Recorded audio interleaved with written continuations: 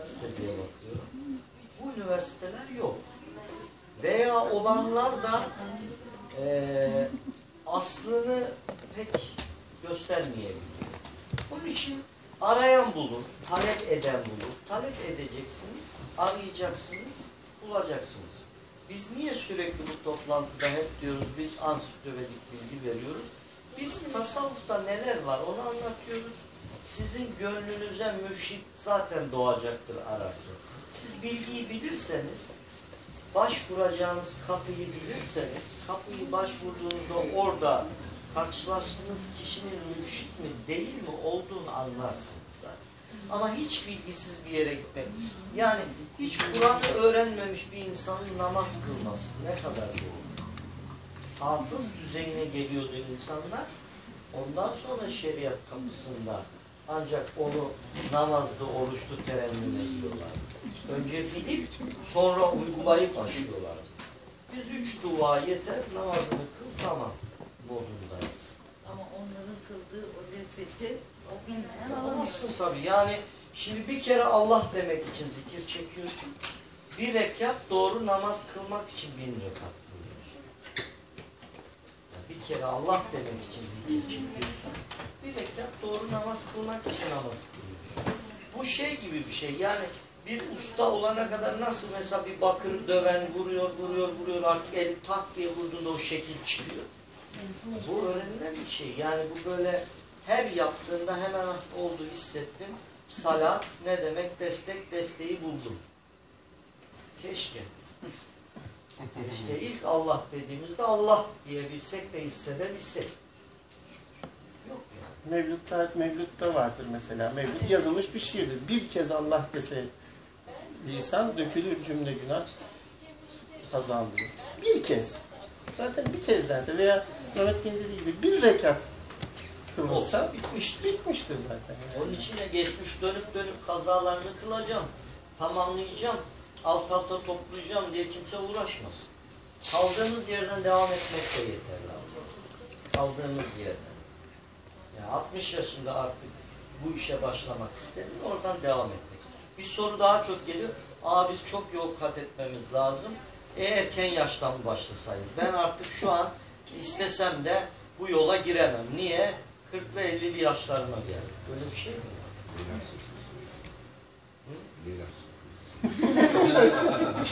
Çekiyor mu ya bunlar? O zaman başlayalım bak. Şuradan. Ahlakın türleri ve kısımları. Şimdi bunu niye böyle bir şey yaptık? Şundan dolayı böyle bir şey yaptık.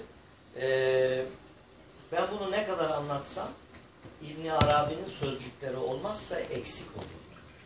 Onun için mümkün olduğu kadar konuyu toparladık ama o bölümleri İbn Arabi'den dinlemenizi doğru buldum. Buyurun. Ahlakın türleri ve kısımları. Şimdi ahlakın kısım ve türlerinden söz edeceğiz. Bu bağlamda ilk önce beğenilen huyları, alışkanlık edinilmesi gereken ve erdemlerden sayılan huyları, daha sonra da çirkin ve sevimsiz görülüp eksikliklerden ve ayıplardan sayılan huyları belirteceğiz. İyi huylar. İffet. İffet, nefsi arzulardan alıkoymak, onu bedenin isteyeceği ve sağlığına zarar vermeyeceği şeylerle yetinmeye zorlamak. Bedenin ihtiyaçlarını karşılarken bütün hazlarda aşırılıktan ve büsbütün cimrilikten kaçınmak, orta kararı tutturmak demektir. Bunun yanı sıra iffet, kendisini sınırladığı hazların da beğenilen tarzda ifa edilmesini, razı olunduğunda görüş birliğine varılmış şeylerden olmasını ve gerekli olduğu ölçüde yapılmasını sağlar. Bu miktar nefsin daha azına zorlanmayacağı ve mahrum bırakılamayacağı miktardır. İşte bu hal iffetin zirvesidir. 2. Kanaat ve tutumluluk. Bu huylardan birisi de kanaat, yani eldekiyle yetinme duygusudur. Kanaat sahip olduğuyla yetinmek, eldekinden memnun olmak, mal kazanma ve yüksek konum elde etme arzusunu bırakmak demektir. Kanaatin kanaat olması, insanın mala ve makama arzusu ve meyli varken onları bırakmasını gerektirir. Kanaat, nefsin tamahkarlık gücünü kırmak, elde olanla yetinmek anlamına gelir. Bu anlamda kanaatin insanların orta halli veya muhtaç olanlarında bulunması güzel ve beğenilen bir davranıştır. Hükümdar ve yüksek konumdaki insanların böyle bir kanaat duygusuna sahip olması onlar adına beğenilecek bir davranış erdem değildir. Erdemlerden bir başkası da tutumluluktur. Tutumluluk saçıp dağıtmaktan, insanın kendisini korumasıdır. Alay etmekten, çirkin davranışlardan, alaycı insanlarla oturup kalkmaktan, onların meclislerinde bulunmaktan uzak durmak, dili sövme saymadan korumak, kötü sözleri ve çirkin şeyleri zikretmemek, bayağı bir karakter sahibi olmaktan uzaklaşmak, bu gibi davranışların bulunduğu yerlerde dolaşmaktan ve kötü insanlarla oturup kalkmaktan sakınmak, tutumluluk erdeminin bir yönüdür. Tutumluluk karakterinde aşırılığa sapmış ve taşkınlığa gitmiş kimseler için beğenilecek bir davranış değildir. Tutumlu olmanın bir yönü bayağı değersiz insanlardan ve onlarla dostluk kurmaktan ve oturup kalkmaktan uzak durmaktır. Bayağı bir yaşam tarzından, kötü yollardan para kazanmaktan ve alçak değersiz insanlardan bir şey istemekten sakınmak gerekir. Bunun yanı sıra güçsüzlere karşı alçak gönüllü olmak, gereksiz yere sokaklarda yol kenarlarında oturmamak ve beklememek bu uyun kapsamına girer. Çünkü bu davranışların fazla yapılması insanı yalnızlaştırır. İnsanlara göre üstün kişiler adı bilinen, şahsı bilinmeyen kimselerdir. 3. Hoşgörü. Hilim, öfken şiddetli olduğu ve gücün yettiği halde intikam almayı bırakman demektir. Bu huy, bilhassa hükümdarlar söz konusu olduğunda yönetimin bozulmasına veya yönetim makamının yıpranmasına yol açmadığı sürece beğenilen bir davranıştır. Hoşgörünün yönetici ve başkanlarda bulunması daha iyidir. Çünkü onlar başkalarına göre öfkelendikleri kimselerden intikam alma gücüne ve fırsatına daha çok sahiptir. Kendisine karşı koyma imkanı varken küçüğün büyüğünü bağışlaması hilim sayılmaz. Küçük böyle bir durumda kendisini tutsa bile bu davranışı hilimden değil sadece korkudan kaynaklanır. Çünkü başka bir vakitte yaptığı işin cezasını çekmekten endişe eder. Dolayısıyla yaptığı davranış erdem sayılmaz. 4. Ağırbaşlılık. Erdemlerden biri de vakar yani ağırbaşlılıktır. Ağırbaşlılık insanın kendisini gereksiz yere ve yanlış konularda konuşmaktan, hareketin gerekmediği yerlerde hareket ve işaret etmekten engellemek, az sinirlenmek, soru sorulduğunda kulak vermek, cevabı dinlemek, bütün işlerde koşuşturmaktan ve aceleyle hareket etmekten kendini engellemektir. Ağırbaşlılığın bir türü utanmaktır. Utanma duygusu, utanılan kimse karşısında elleri bağlamak ve konuşmamaktır. Bu alışkanlık da acizlikten ve bir eksiklikten kaynaklanmadığı sürece beğenilen bir huydur. 5. Sevgi ve dostluk. Erdemlerden birisi sevmek ve dostluk anlamındaki meveddettir. Meveddet arzuya uyamadan dengeli bir şekilde sevmek demektir.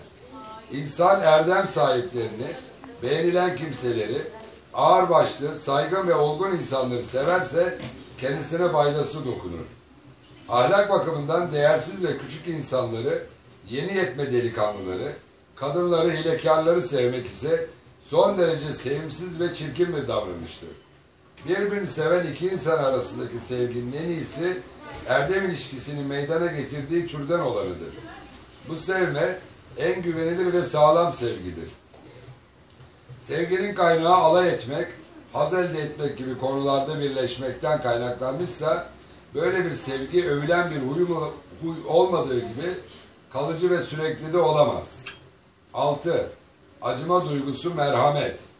Merhamet sevgi ve üzüntünün karışımı bir duygudur. Merhamet, merhamet sahibine karşı çirkin bir davranış sergilemiş insana yönelik olabilir. Bu huy ya eksiklikten ya da geçici bir durumdan kaynaklanır. O halde merhamet, gerçekte merhamet duyulan insanı sevmek demektir. Bu sevgi ise merhameti doğuran endişe ve üzüntüyle birlikte bulunur. Merhamet sahibini adalet duygusundan uzaklaştırıp ona haksızlık yapmaya, yönetimin bozulmasına sürüklemediği sürece iyi davranışlardandır. Söz gelişi, katili cezalandırırken veya caniye kısas verirken ona acımak merhamet değildir. Vefakarlık, Vefa, insanın kendisini bağladığı ahit ve sözlerinde kararlı ve sabırlı olması, kendisine zarar verse bile taahhüdünün gereğini yerine getirmesi demektir. İnsan taahhüdüne vefa göstermek nedeniyle az da olsa bir sıkıntıyla karşılaşmıyorsa yaptığı şey vefa sayılmaz. Nefsini yükümlü kıldığı şeyi yerine getirdiğinde kendisine zarar verdiği ölçüde vefalı olmuş demektir. Övülen bir huydur ve bütün insanlar kendisinden yararlanır. Çünkü kişi vefakarlığıyla tanınırsa sözü kabul edilen saygın biri haline gelir. Vefakarlık en çok hükümdarlara yarar sağlayabileceği gibi onlar bu huya diğer insanlardan daha fazla gerek duyar. Çünkü hükümdar vefasızlıkla tanındığında artık vereceği sözlere güvenilmez, asker ve yardımcıları vaat ettiklerine gönülden inanmaz. 8. Emanete riayet ve sır saklama. Emaneti yerine getirmek insanın malını ve başka şeylerini kullandığı işlerde iffeti gözetmesi demektir. Bunun yanı sıra kendisine emanet edilen, verilen işlere karşı iffetli olması, gücü yettiği halde onlara bir halel getirmemesi, kendisine bırakılan şeyi sahibine ulaştırmasıdır. Sır saklamak ise ağır başlılık ve emaneti yerine getirme erdemlerinin bileşimidir. Çünkü sırrı yaymak, gereksiz ve lüzumsuz konuşmaktan, yani gevezelikten kaynaklanır. Geveze aslında ağır başlıkta değildir. Öte yandan kendisine bir mal emanet edilip, onu sahibinden başkasına bırakan kişi emanete hıyanet etmiş olacağı gibi, kendisine bir sır emanet edilip, o sırrı başkasına bildiren kimse de emanete hainlik etmiş sayılır. Övülen bir davranış olan sır saklamak, özellikle hükümdarlara eşlik edilen eden insanlarda aranan bir huydur. Çünkü hükümdarların sırlarını yaymak büyük zararlara yol açar. 9. Alçak gönüllülük. Alçak gönüllülük, başkan gibi davranma özelliğini bırakmak, boynu bükük durmak, ikramda abartı ve fazlayı sevmemek demektir. Bunun yanı sıra alçak gönüllülük insanın sahip olduğu erdemleri mal ve makam gibi meziyetleriyle met edilmeyi sevmemesi, kendisini beğenme ve başkasını küçümseme duygusundan uzaklaşması anlamına gelir. Alçak gönüllülüğün en iyisi insanların büyüklerinde ve önderlerinde, erdem ve bilgi sahiplerindekidir. Bunların dışındaki insanlar ise alçak gönüllü olamazlar. Çünkü alçakta bulunmak zaten onların doğal konumları ve yerleridir. Dolayısıyla onlar tevazu gösterdiklerinde kendi konum ve makamlarını alçaltmış olmazlar. 10. Güler yüzlülük. Güler yüzlülük insanın sevdikleriyle, arkadaşlarıyla, dostlarıyla, tanışlarıyla karşılaştığında mutluluk göstermesi ve tebessüm etmesidir. Bu huy bütün insanlarda beğenilen bir davranıştır. Ancak hükümdarlarda ve yetki sahiplerinde bulunması daha da güzeldir. Çünkü hükümdarların güler yüzlülüğü yönettiği insanların, yardımcılarının ve askerlerin kalplerini ona ısındırır ve hükümdar olanlara daha sevimli hale getirir. Yönettiği kimselere karşı nefret duyan insan mutlu olamaz. Bazen bu durum hükümdarın yönetiminin bozulmasına ve hükümdarlığının ortadan kalkmasına bile sebep olabilir. 11. Doğru söyleme. Erdemlerden biri de doğru sözlülüktür. Doğru sözlülük bir şeyi gerçekte bulduğu hale ve duruma geri göre bildirmek demektir. Doğru sözlülük korkutucu bir zarara yol açmadığı sürece beğenilen bir duyguydur. İşlemiş olduğu bir günah kendisine sorulduğunda insanın doğru cevap vermesi yerinde değildir. Böyle bir durumda doğru sözlülük kişinin utanma duygusundan yoksunluğu ve diğer eksikliklerinden ortaya çıkan çirkinlikleri telafi edemez. Aynı şekilde yaptığı ve gizlediği bir iyilik kendisine sorulduğunda doğru söylenmesi de iyi değildir. Ya da acı bir şekilde cezalandırılacağı bir suç kendisine sorulduğunda doğru söylemesi de uygun değildir. Doğru sözlülük bütün insanlarda beğenilen bir davranış iken bu davranışın hükümdarlarda ve yetki sahiplerinde bulunması daha güzeldir. Hatta doğru sözlülük onlara bir zarar vermediği sürece Bu gibi insanlarda yalanın hiç bulunmaması gerekir. 12. İyi niyet.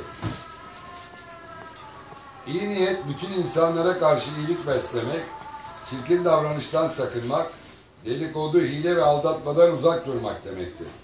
Aranılan bir huydur. Bununla beraber hükümdarların sürekli olarak iyi niyetli davranması uygun değildir. Çünkü yönetmek düşmanlara karşı bir takım hile, tuzak, aldatma yöntemlerini kullanmaksızın gerçekleşmez.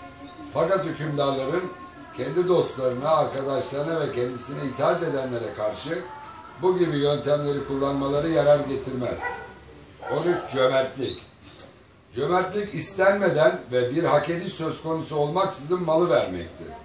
Bu davranış israf ve savurganlığa yol açmadığı sürece beğenilen bir huydur. Çünkü eldeki her şeyi hak etmeyen kimselere dağıtan kimse cömertliği savurgan ve müsrif diye isimlendirilebilir. Bu anlamdaki cömertlik bütün insanlarda beğenilen bir erdemdir. Hükümdarlarda cömertlik bulunması gerekli zorunlu bir huydur. Çünkü cimrilik hükümdarların yönetiminde büyük zararlara yol açar. Cömertlik ve bağış yönetilen insanların, askerlerin ve yönetimde bulunan kimselerin gönüllerini kazandırır, yararı büyük olur. 14. Cesaret. Cesaret gerek duyulduğunda sevimsiz işlere ve tehlikelere atılmak, korku anlarında atılganlığı korumak, ölüme hafife almak demektir. Bu huy bütün insanlarda beğenilen bir davranıştır. Fakat hükümdar ve yardımcılarına daha yaraşır. Hatta hükümdarların böyle bir özelliğe sahip olmaması doğru değildir. Tehlikelere atılmada en cesur ve en atılgan insanlar hükümdarlardır. Dolayısıyla cesaret onlara özgü huylardan biridir. 15. İyiliklerde rekabet. Yarışma duygusu insanın herhangi bir konuda başkasına benzemek için kendisini zorlamasıdır. Kişi daha üstün bir dereceye yükselmek için gayret gösterir. Bu huy, erdemler, üstün ahlaki mertebeler ve insana saygınlık ve kıymet kazandıran şeyler hakkında olduğunda güzeldir. Fakat arzulara uymada, hazlarda süslenmede, güzel elbiseler giyinmede yarışmak son derece sevimsiz ve çirkindir. Sabretme. Sıkıntı anında sabırlı olmak, bu huy ağırbaşlılık ve cesaretin bileşiminden oluşur.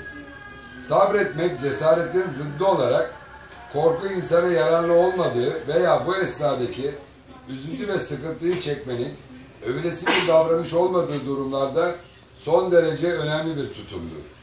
Sabrın iyi bir huy olmasının diğer koşulları ise çare bulma imkanının olmayışı ve gayretin sıkıntıyı ortadan kaldırmayışıdır. 17. Himmetin büyüklüğü Himmetin büyüklüğü, maksada ulaşmanın dışındaki bütün işleri küçümsemek, bütün üstün mertebeleri istemek, orta durumdaki işleri hafife almak, sonları talep etmek, sahip olduğu şeyi önemsiz görmek, başa kalkmadan ve aşırılığa gitmeden kendisinden isteyen kimseye ikramda bulunmaktır. Himmet büyüklüğü, hükümdarlar, makam sahipleri ve kendisini onların mertebelerine ulaştırmak isteyen kimselerde beğenilen bir davranıştır. Bu yön bir yönü tene, tenezzülsüzlük, hamiyet ve gayretkeşliktir. Tenezzülsüzlük, nefsin değerli işlerden yüz çevirmesi demektir. Hamiyet ve gayretkeşlik ise bir şeyde eksiklik hissettiğinde sinirlenmek demektir. İnsan sadece haramlar söz konusu olduğunda saygınlığına düşkün olmalıdır. Haramlara yönelmek insanda eksiklik ve kusura yol açar. Böyle bir insan başka insanların hakkını yiyen ve başkasına ait bir işe tasarruf eden kimselerdir. Başkasına haksızlık yapmak ise insanın eksikliğinden kaynaklanır. Himmet büyüklüğünün bir göstergesi başkasına haksızlık yapmaya tenezzül etmemek ve eksik davranışlara gedik bırakmamaktır. Bu özellik bütün insanlarda güzeldir ve beğenilir.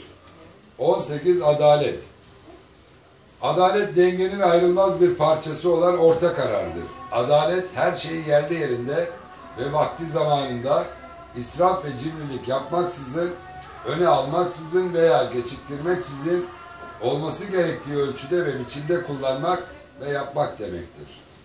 Kötü huylar. Kötü huylara geçmeden bir sohbet edelim. Şimdi iyi huyları sayıyor. İyi huyları sayarken de bizim ilk anlamıyla bildiğimiz anlamıyla değil, daha geniş bir çerçevede. Kötüleriyle birlikte anlatıyor, onu dengeye kavuşturuyor, hangisinin fazlalığı, azlığının zararlı olduğunu da anlatıyor. Şimdi bunları saydığımızda mesela iffeti bugün tek anlamıyla anlıyoruz. Oysa ki burada daha farklı anlamlarıyla anlatıyor. Kanaat ve tutumluluğu, hoşgörüyü. Aslında buradaki iyi huylar olarak gördüğümüz huyların bile az veya çok oluşuna göre kötü ya da iyi oluşmaya dön dönüştüğünü de biliyoruz.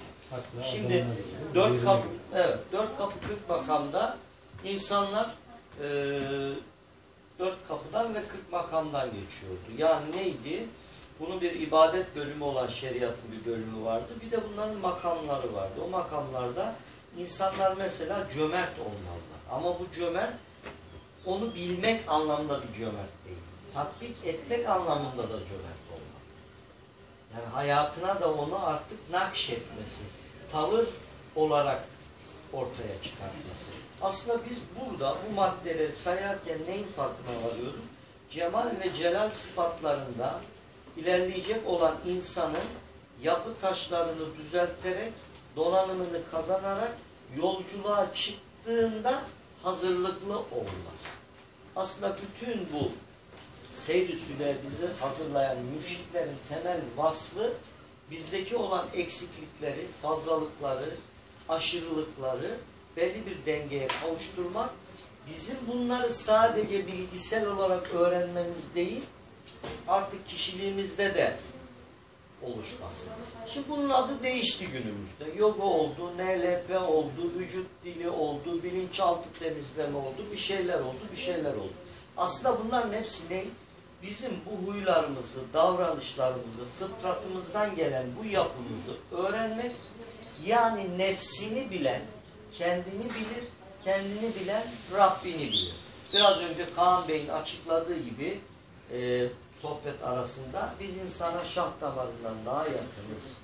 Nereye baksanız bizi görürsünüz dediği gibi aslında biz kendimizi bildiğimizde o yakınlık derecemizi de göreceğiz. O anlamda da seyri sülü bir yola çıkıp papuçlarımızı giyip yürümek olarak? Ne anlamda bu temizlenme ve bu arınma, bu yanma durumunda nasıl bir seyahat olacağını, nereden nereye bir seyahat olacağını, aslında bir mesafe olup olmadığını bilmiyoruz. Belki de o perdeler bunları biz düzelttikçe yırtılacak ve hakkın cemali ve didarıyla karşılaşacak. Şimdi siz bunların hepsini tabii ki biliyorsunuz. Çünkü artık biz marifet çağı dediğimiz bilginin çok yoğun olarak empoze edildiği, verildiği bir dönemden geçiyoruz. Sözlük anlamlarını biliyorsunuz. Eğitim olarak bunları okullarda alıyorsunuz. Ama her şeyden önemlisi hak ne diyor? Ben sizin amellerinize bakarım. Davranış haline getirebiliyorum. İşte bu eğitim. Bunun için dervişlik vardı, bunun için mürşitlik vardı, bunun için 40 yıl eğri olduğunu götürmemek vardı. Bunun için o tür insanlarla, burada diyor ki mesela şu insanlarla oturmayın. Sohbet etmeyin boş konuşan insan. Bunun olabilmesi için senin öyle yerlerde olman lazım. İşte buralar oraları sağlıyor. Yani o insanlar orada pişerken birbirlerinin de eksiklerini tamamlayarak aslında bir yolculuğu terennüm ediyorlar. O anlamda da bunların hepsini bilmemize rağmen bunları uygulamak zor. İşte ansiklopedic bilgi dediğimiz de bu. Biz olayı bileceğiz. Sonra bunun yapıldığını ya da yapanı gördüğümüzde işte cesaret, işte tamakkarlık, işte iyiliklerde rekabet etmek, işte sabretmek, işte temiz giyinmek, güzel giyinmek ama abartmamak. Yani bunu göreceksin kişide. İşte o kişi mürşittir. Bu özellikleri gördüğünüz kişiyle karşılaştığınızda kötü bir olay karşısındaki tavır, kötü bir hareket karşısındaki onun karşı tutumunu gördüğünüzde o kişi kafanızda canlanmış olur. Bunlar öğretmekteki gaide ya da öğrenmek için beraber yolculuk etmemizdeki olay bizim gördüğümüz şeyi tanımamız için yardımcı olacak. O anlamda da kötü huylara geçelim mi? Biraz daha iyi huylar üzerine konuşalım. Benim e, not aldığım iki şey var hocam. Onlar Buyurun. e, biraz sizden e, Evet. rica edeceğim. Şimdi İbn Arabi'nin kanaat hakkındaki e, Evet. okumasında şöyle bir şey dikkatimi çekti. Buyurun. Kanaat e, mal, malı ve elindekileri az bulunan kişiler için iyidir. Evet. Yüksek mevkilerde olan kişiler için iyi değildir diyor. Neden yüksek mevkilerdeki kişiler için kanaat etmek iyi değil? Kanaat şimdi yüksek mevkideki insanın hazinesi var değil mi? Devlet onun elinde. Kanaat etse, her şeyi cimrilikle sıksa, en Kakkari'nin bilmem ne köyünde, Kırşehir'in Dinek Bağı'nda, Çorum'un Sungurlusu'nda çok fakir bir insana kanaat edelim ya boş verin. Ne götüreceğiz oraya yolu? İşte yapılacak kadar yapalım. Olur mu? Elinde mal olanın daha çok dağıtması lazım. Kanaat bize lazım, fakir insanlara. Çünkü elimizde zaten az var, çoku elde etmek için çabalarken başka yanlışlara düşebiliriz. Kanaat, çalışabildiğin kadar. Sen ne yapıyorsun? Ek iş yapıyorsun. Diyelim ki öğretmensin, ekstradan ne yapacaksın? Taksi süreceksin. Bu başına fiili kazaların da gelmesi olabilir. Senin bu hırsla huy durumunun değişmesini sağlar. Ama zengin bir insanın kanaat etmesi yeter buna bu kadar iyilik yaptım daha fazlasını yapmayın demesi yok sonuna kadar. Senin seviyene gelene kadar onu dağıtması gerekir diye algılıyorum ben. Bilmiyorum. Üstadlar siz de yardımcı olun. Ben böyle algılıyorum. Bir de buradaki e, kanaat ve dağıtma olayını sadece maddesel olarak alıyoruz biz. Yani sadaka gibi, para vermek gibi. Bakın Evet. Sizin sahip olduğunuz her şey sizin malınızdır. Bunun en başında da bilgi gelir. Bugün bir profesör düşünün, bir şeyi keşfetmiştir. Onu kendine saklar. Bunu halkın yararına açmazsa işte bu cimriliktir. Sadakasını vermemiştir. Bunu profesör örneğini verdim bu. Profesör olması önemli değil. Ayşe olur, Ahmet olur, Mehmet olur. Ne bilgi sahipseniz bu bir maldır. Bunu paylaşmak mecburiyetindesiniz. İşte örnek aldığımız İbn Arabi de en değerli hazinesi bilgidir. Ve bunu kendi devrinde daha 12. yüzyılda paylaşmaya başlamış. 20. yüzyıldayız. Hala onun bu paylaştığından nasipleniyoruz. Yani buradaki olay sadece maddesel anlamda değil. Kanaat de şunu da kanaat edebilirdi. Şimdi hepimiz o diyoruz İbn Arabi ermiş. E erdi. Bizimle hiçbir şeyi paylaşmasaydı ne olacaktı? Nasıl- Cimri bir- Nasıl erecek? Nasıl erecekti? O zaman çok cimri olacaktı. Zaten eremezdi. Yani demek ki bir şeyi paylaşmak lazım ki zaten ayeti kerimede de diyor paylaştıkça çoğalır. Siz paylaştıkça o sahip olduğunuz şey de çoğalmaya devam edecek. Bunu sadece maddesel manada düşünmemek lazım. Ee, soru. bir de yine bir not almışım. Ee, doğru söyleme konusunda. Evet. Acı bir şekilde cezalandırılacaksanız doğruyu söylemeyin diye okundu. Evet. Bunu da Ya da utanacaksanız da doğru. evet söyleyin. utanacaksanız, Şimdi acı bir şekilde güzel bir cezalandırılacaksanız örnek verelim. doğruyu söylemeyin. Evet. Şimdi bu cezayı size uygulayacak insanın adaletli olup olmadığını bilebilir miyiz? Bilemeyiz. Ve bu adaletsizlikle, hilim sahibi, yumuşaklıkla olmadığı için bugün şeriat kapısında olan bazı insanları kısasa kıssas yapıp hadi bu insanı keselim hemen kolunu deyip bir hırsızlık karşısında kolunu kestiği bir yerde durun bunu bir ıslah edelim, çalmamaktan men edelim, keselim de bunu hırsızlıktan keselim diye algılamak var. Bir de hemen bunun elini hırsızlıktan kesme değil de elini keselim. Şimdi olay onun içinde bazı durumlarda insanın karşısındakiler ona o hilmi, o yumuşaklığı, o ağırbaşlılığı gösteremeyecekse bu tür şeylere kaçması normal. Şimdi tersini düşünelim. Mesela insanlar bunları biliyor ama bunları söyleyecekler. Söylediklerinde de cezaya uğrayacaklar. Hak o zaman diyor ki siz takiye yapabilirsiniz. Yani sizin bu bildiğiniz sır birileri tarafından yok edilecekse, size zarar verilecekse, İslam olarak yani Müslümanlığınız tehlikeye girecekse siz bunu saklayabilirsiniz. Yani tebliğ etmenin de saklamanın da yeri ve zamanı var. Aynı şekilde onun da her şeyin yeri ve zamanı var. Şimdi orada ifadede doğruyu söylemeyebilirsiniz diye geçiyor. Bakın doğruyu söylememekle yalan söylemek arasında fark var. Her doğru her yerde söylenmez. Bunun en üst seviyede örneğini şöyle verebiliriz. Hep herkesin bildiği bir Hallacı Mansur gerçeği vardır. Hallacı Mansur doğru söylemiştir. Ne demiştir? Enel hak. Yani ben hakkım demiştir. Fakat anlaşılamadığı için katledilmiştir. Demek ki bedelini ödemiştir. Yani her doğru her yerde söylenmez. Bununla ilgili şöyle kısa da bir menkıbe anlatayım. Resulullah hicret esnasında e, düşmanlar tarafından karşılanıyor. Arıyorlar zaten hicret esnasında. Ve geliyorlar. Diyorlar ki sizin aranızda nerede Resulullah dediğiniz sizin şahıs bizim aramızda değil diyorlar. Hakikaten Resulullah biraz daha uzak bir mesafede duruyor. E peki diyorlar bakın orada biri var. O kim? Şimdi bu soruya doğru cevap verseler zarar görecekler.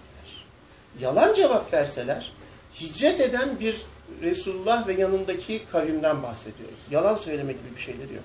Şöyle bir cevap veriyor. Aa o diyor değil. O, Resul, o e, bizim rehberimiz diyor.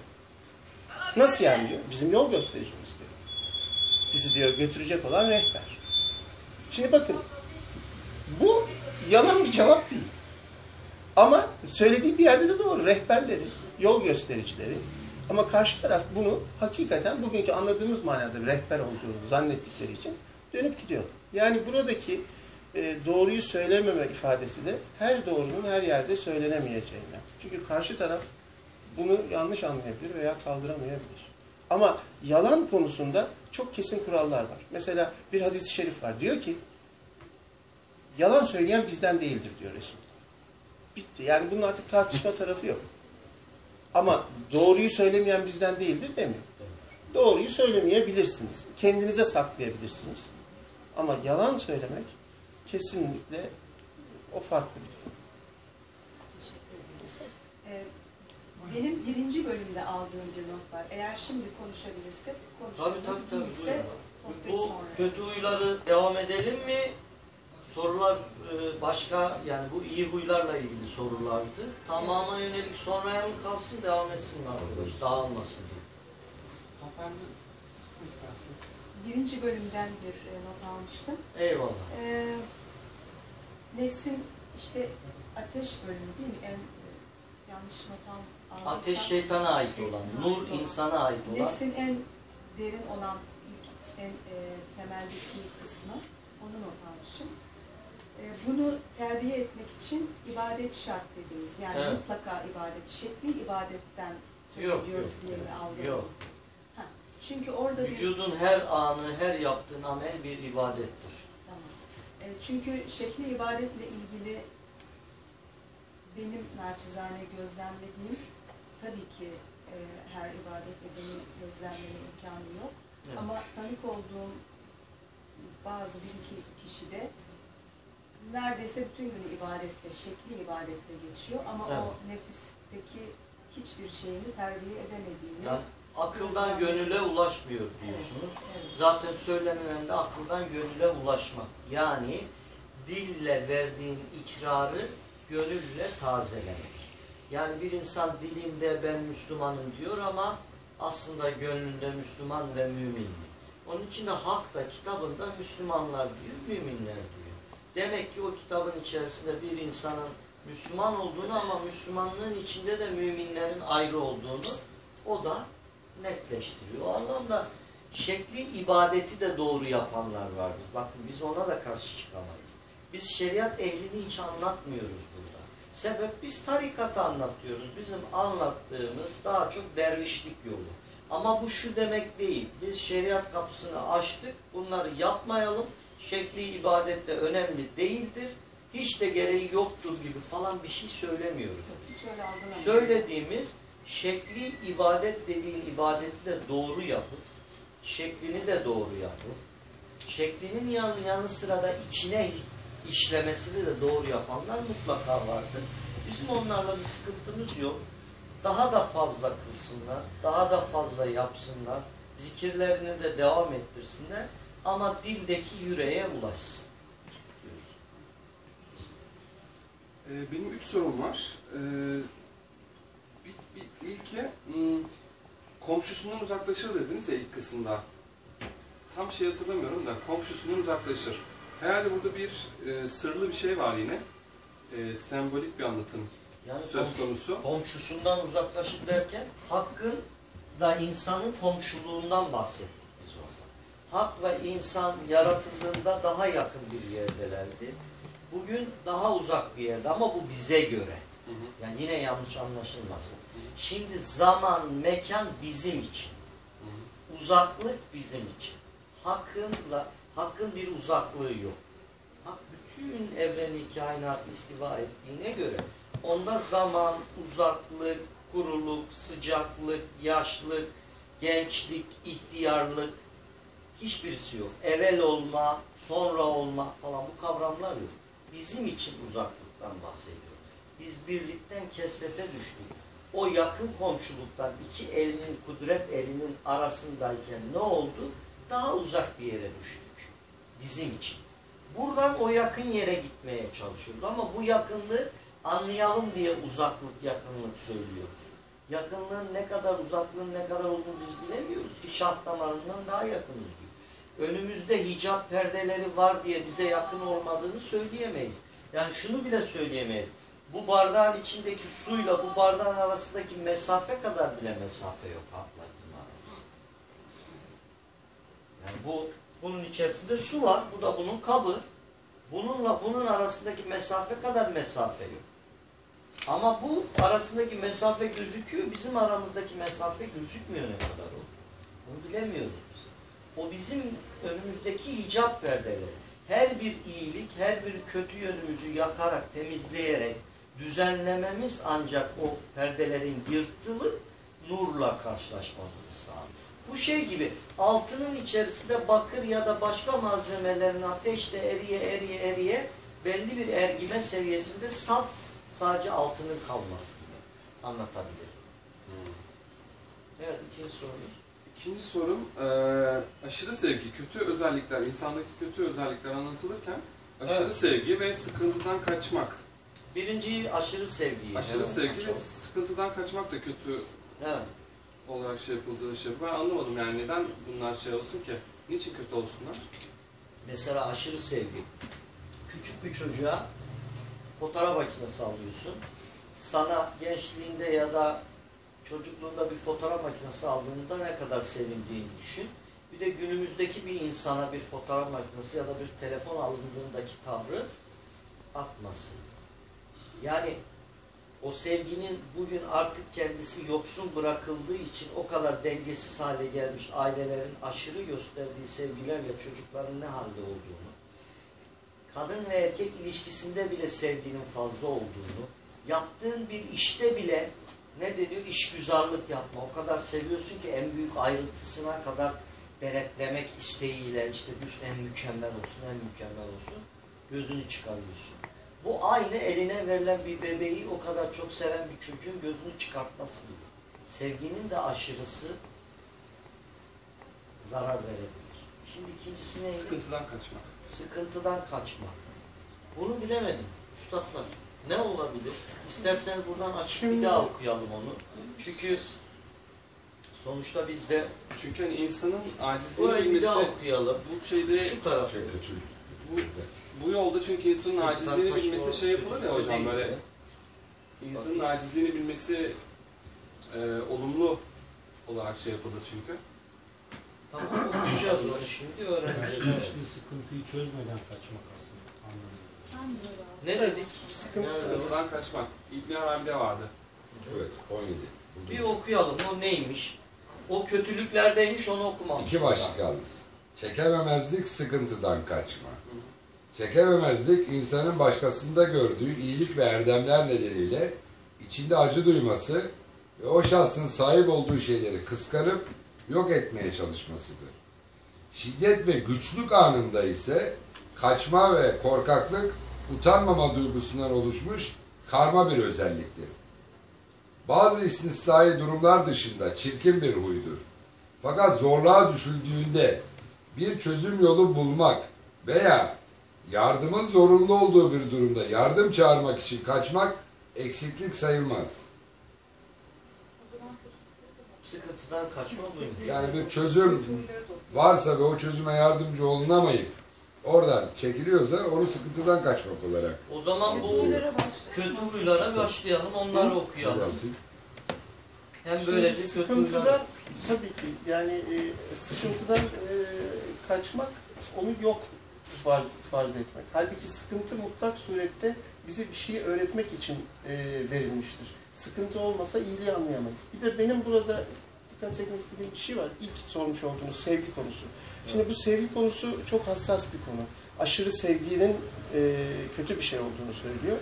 Çünkü neden? E, genel manada sevgi ve aşırı sevgi sadece ve sadece hakka karşı duyulabilir. Onun haricinde yaratılmışa sevgi, yani fani olana sevgi, yok olacak olana sevgi, hak tarafından kabul edilecek bir şey değildir. Hatta şöyle bir ifade kullanılır, hani bu biraz belki şey olacak ama Allah kıskançtır. Sadece ve sadece kendinin sevilmesini ister. Başka bir şeye sevgi duymak onu putlaştırmaya gider. Ben kendimden örnek vermeyi biraz severim. Çok belki biraz zamanınızı alacak ama basit bir örnek vereyim mesela. Ben İbn Arabi'ye aşk derecesinde bağlı bir insan. Yani bir insan 24 saatin 20 saatini İbn Arabi okuyarak geçiriyorsa çünkü çok tehlikeli ve enteresan bir şahıstır İbn Arabi. Kendini size aşık eder ve bağlar. Bir daha onun etkisinden de çıkamazsınız. Onun için de kitaplarının ön sözünde benim kitaplarımı okumayınız. Hele yalnızken Yalnız hiç okumayınız. Geceliğin hiç okumayınız ifadesini kullanan bir insan. Böyle enteresan bir şey. İbn Arabi ancak böyle cemaatten okunup üzerinde tartışılabilir. Mutlak suretiyle karşınızda bir muhatap olması lazım. Ama hep gece okuyoruz. Ee, ve ben bunun sonucunda yani şöyle bir noktaya geldim. Ee, dedim ki ben niye 20. yüzyılda yaşıyorum? Bu çok kötü bir şey. 12. yüzyılda yaşamış olsaydım şu anda dizinin dibinde olurdum. Gibi bir mantığa ulaştım. Ee, bu tabii bütün diğer şeylerin sevgisini bastıran bir po- pozisyona itiyor sizi. Bu işte ifrat konumu. Ve buradan kurtulmanız lazım. Ee, elhamdülillah kurtuldum. Ama işte anlatılmak istenen aşırı sevgi bu. Yani e, baki olmayana, fani olana, ölümlü olana veya herhangi bir maddeye, bu aşırı sevgi para sevgisi de olabilir. Herhangi bir affedersiniz kadın Maddeye düşkünlüğü olabilir, Madde madde, olabilir, e, soyut bir kavram İşine olabilir, bile olabilir. işine olabilir. Yani işkolikler var aramızda. Bu kastediliyor. Kötü huylara başlayalım mı? Ses değiştirelim mi? Siz okumak ister misiniz? Yoruldunuz mu? Ben Evet. Arkadaşlar benim Ben sesimden okuyabilirim. Çok sıkıldılarsa memnunuz sizin Yok sesinizden. hocam, devam edin. Evet, sizin sesinden memnunuz ama sizi de yormak istemiyoruz. Kıymetlisiniz. Kötü huylar. Fücur ve günahkarlık. İnsanda bulunması, noksanlık ve işlenmesi ayıp sayılan kötü huylara gelince bunlardan ilki fücur ve günahkarlıktır. Fücur, insanın kendisini arzularına bırakması, onları çokça yapması, hazların peşinden gitmesi, hazlara dalması, taşkınlıklar yapması ve onları sıkılmadan göstermesi demektir. Kısaca fücur, arzularda aşırılık ve taşkınlık demektir. Bu huy utanma duygusunu ortadan kaldırır. Yüz suyunu kaybettirir, saygınlığı yırtar atar. 2. Tamahkarlık. Tamahkarlık mal toplama, biriktirme, her yönden onu elde etme hırsıdır. Bu öyle bir hırstır ki insan mal elde etmek uğruna başkasına haksızlık yapar. Başkasının karşısında köpekleşir, mal elde etmek ve çokça toplamak için çalışır. Bu huy, hükümdarların dışındaki bütün insanlarda sevilmeyen bir davranıştır. Çünkü mal çokluğu, mal ve mülk biriktirmek hükümdarlara yardım eder. Hükümdarları süsler. Onların yönettiği kimselerin, yardımcılarının, askerlerinin ve düşmanlarının gönüllerindeki saygınlığını arttırır. 3. Dağıtmak. Dağıtmak, saygınlığı kaybetmek, alay etmekle ve boş şeylerle ilgilenmek, sefilerle haşır neşir olmak, ayak takımından alaycı ve taşkınlık yapan insanlarla oturup kalkmak, kötü sözler söylemek, boş ve anlamsız şakalar yapmak, sokaklarda ve yol başlarında oturmak, çirkin kazançlar peşinde koşmak, sükliliğinden dolayı alçak gönüllü dav- alçak gönüllü davranmaktır. Bu davranış bütün insanlarda çirkindir. Sefillik.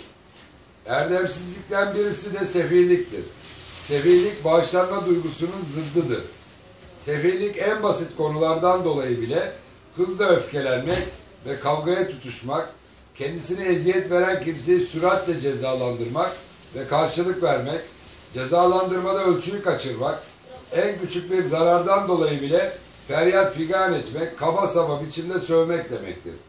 Bu davranış bütün insanlarda çirkindir. Ancak hükümdar ve yöneticilerde meydana gelmesi ise daha da kötüdür. 5. Boş konuşma. Gevezelik, gereksiz yere çok konuşmak ve hareket etmek, çok gülmek, herhangi bir çekimsellik olmaksızın atılgan davranmak ve hemen cevap vermektir. Bu huy bütün insanlarda çirkin bir özelliktir. Ancak bilgi sahiplerinde ve örnek alınan kimselerde daha da çirkindir. Gevezeliğin bir türü de hafifliktir. Hafiflik hazır cevaplılıktır. Saygınlığa sahip olması zorunlu kimsenin saygınlığını azaltır. Aşırı sevgi. Erdemsizliklerden biri de aşktır. Aşk sevginin aşırılığı ve sevgide ölçüyü kaçırmak demektir. Bu huy bütün durumlarda sevimsizdir. En kötü ve çirkini ise has talep etmeye ve bayağı arzulara uymaya yönelik olmasıdır. Aşk insanı taşkınlığa, günahlar işlemeye, çokça açılıp saçılmaya, utanma duygusunun azalmasına sevk ederek ederken aynı zamanda insana bayağı alışkanlıklar da kazandırabilir. Bu huy herkeste çirkin bir davranıştır. Bununla birlikte başka insanlara göre gençlerde, zenginlerde ve imkan sahiplerinde nispeten mazur sayılabilir. 7. Katık kalplilik. Katı kalplilik, nefret ve cesaretten oluşan bir huydur. Katı kalplilik, başkasının karşılaştığı acı ve ızdırapları hafife almaktır. Bu huy kimseye yakışmaz. Şu var ki askerlerde, yöneticilerde görülmesi ise uygundur. Bu gibi bazı insanların bazı yerlerde katı kalpli olması gerekir. 8. Ahde vefasızlık. Ahde vefasızlık insanın verdiği ve yerine getireceğini taahhüt ettiği bir sözden vazgeçmesi ve cayması demektir. Ahde vefasızlık sahibi için bir menfaat ve yarar barındırsa bile çirkin bir davranıştır. Bununla birlikte bu huy hükümdar ve başkanlarda olduğunda daha da çirkin ve onlara daha da zararlıdır. Bu bağlamda bir hükümdarın ahde vefasızlık yaptığı bilindiğinde kimse kendisine güven duymaz ve itimat etmez. Hükümdara güvenilmediğinde ise yönetimin düzeni alt üst olur. 9. Hainlik. Hainlik, insana emanet edilmiş mala, cana, emanetlere hıyanet demektir. Onun bir türü bildirilmesinde bir yarar bulunduğunda haberleri gizlemek, taşırken mektupları tahrip etmek ve onları başka yerlere ulaştırmaktır. Hainlik bütün insanlarda sevimsiz bir huydur. Makama zarar verir, geçim yollarını kapatır. 10. Sırrı yayma. Bu huy, hainlik ve ağırbaşlı olmamaktan zuhura gelir. Çünkü dilini tutmayan ve gönlü kendisine sır olarak söylenmiş bir şeyi tutacak kadar geniş olmayan kimse ağırbaşlı olamaz. Sır emanettir. Onu yaymak, yayan kişinin eksikliğidir. Dolayısıyla sırrı yayan haindir. Sırrı yaymak son derece yerilesi bir huydur. Özellikle sultanlarla oturup kalkan ve onlara eşlik eden kimselerde bulunması son derece tehlikelidir. Dedikoduculuk da sırrı yaymanın bir türüdür. Bu durum sözün alındığı ve aktarıldığı kişiler arasında bir düşmanlık meydana getirir. Böyle bir davranış kötülüğün zirvesidir. 11. Kibir Kibir, insanın kendisini büyük görmesi ve kendisinde bulunan erdemleri beğenmesi, insanları hafife alması, onları küçümsemesi, karşısında alçak gönüllü davranması gereken kimselere karşı üstünlük taslamasıdır. Kibir sahibine zarar verir. Kendi nefsini beğenen kimse, başkasını küçümseyeceği ve kendisini yeterli sayacağı için edep ve saygı öğrenemez. Edebi artmayan kimsenin ise eksikliği kendisinde kalır. Çünkü insan gerçekte eksikliklerden uzak değildir ve yetkinliğin zirvesine nadiren ulaşabilir. Ayrıca kibir kişiyi sevimli, sevimsizleştirir. İnsanların nefretine sebebiyet verir. 12 asık suratlılık. Asık suratlılık birisiyle karşılaştığında somurtmak, tebessümü eksik etmek, hoşlanmadığını göstermektir. Bu huy büyüklenme ve katı doğaya sahip olmaktan oluşmuş bileşik bir huydur. Çünkü gülümsemenin azlığı insanları basite almaktır. İnsanları hafife almak ise kendini beğenme ve büyüklük duygusundan kaynaklanır. Aynı şekilde tebessümün azlığı özellikle de kardeşleriyle karşılaşma esnasında olmak üzere doğanın katılığından kaynaklanır. Bu huy özellikle başkanlarda ve erdem sahiplerinde olmak üzere herkeste sevimsiz bir davranıştır. 13. Yalancılık.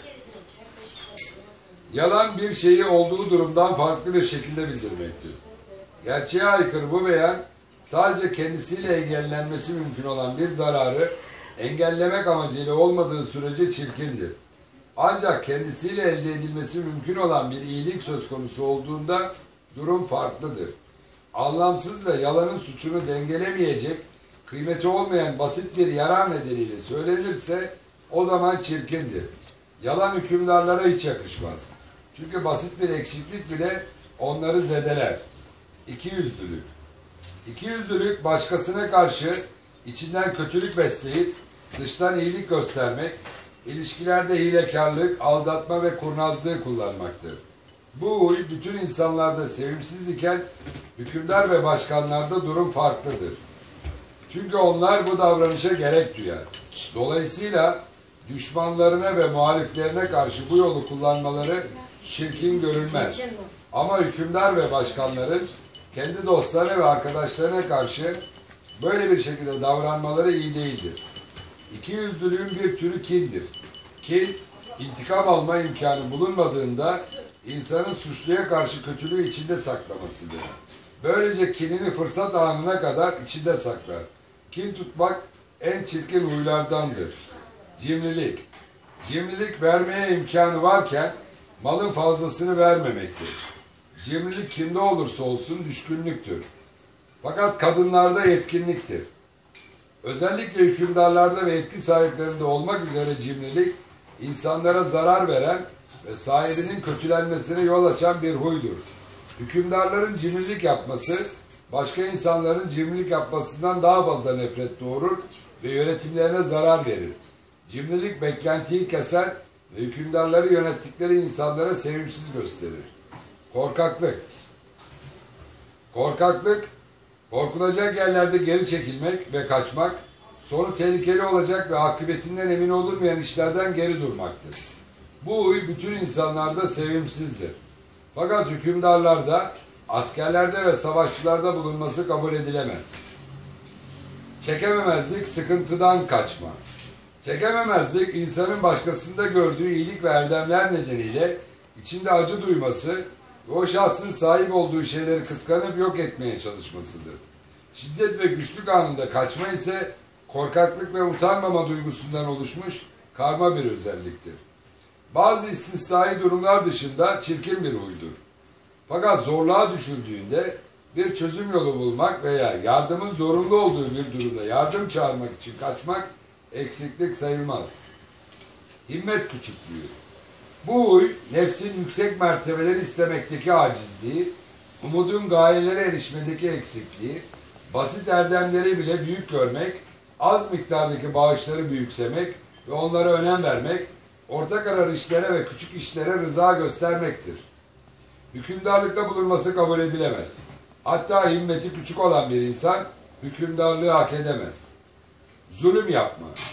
Zulüm bütün işlerde dengeden çıkma, aşırılığın iki ucuna sapma, insanların mallarını ellerinden haksız yollarla alma, meşru olmayan hakları talep etme, eşyayı konulması gerektiği yerlerden, zamandan ve ölçüden başka bir yere, zamana ve ölçüye göre gerektiği tarzın dışında bir şekilde koymaktır.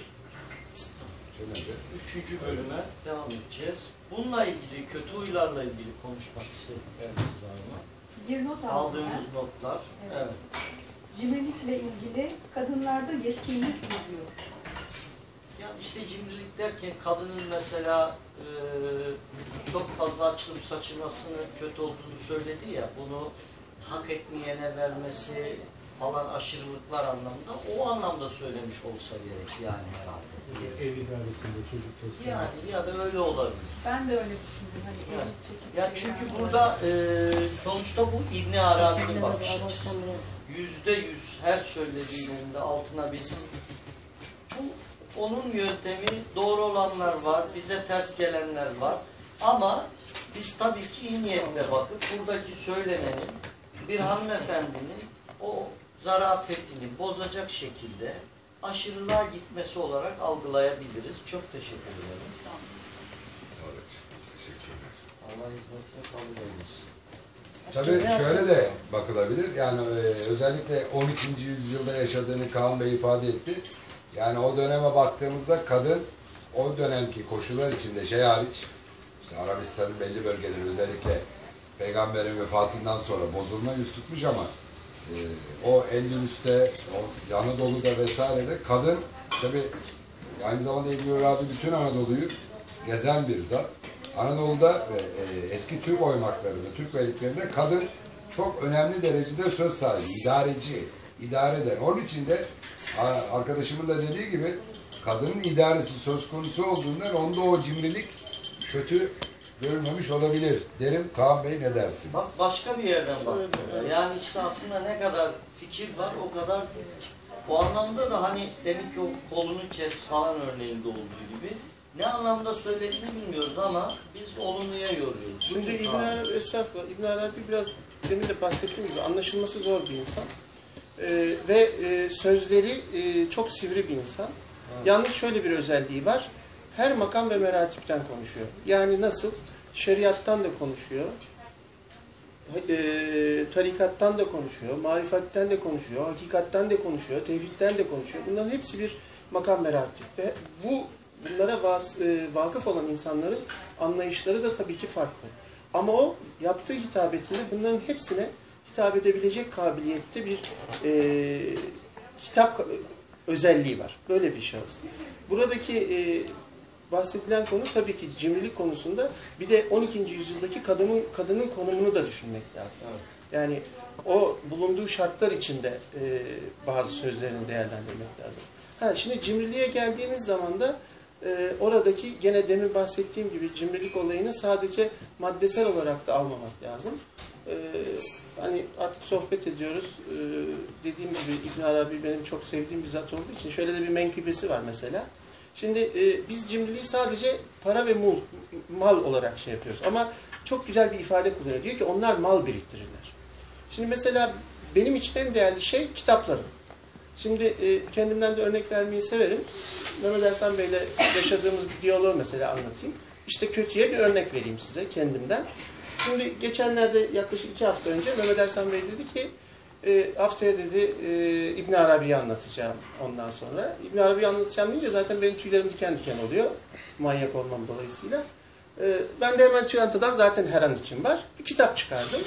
Mehmet Ersan Bey de baktı. Dedi ki aa dedi bu kitap bende yoktu dedi. Hazırlık da yapacağım. iyi olur bana verir misin dedi.